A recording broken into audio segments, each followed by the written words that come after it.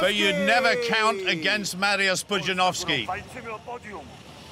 And you know, Colin, when you think about all of the great strongmen in the past, whether they're Icelandic, Swedish, Norwegian, this guy has won more titles than anybody, and that definitely does make him one of the best ever. Oh, it's plain and simple. He's got five titles, more than anyone else ever, and probably in a much more competitive era as well. Listen to that guttural roar from Mariusz. How much does he want this? Well, the times have been so, so close so far.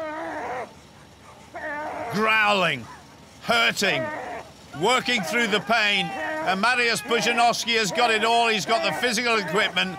He's certainly got the motivation. It's going to be close again. Watch the clock.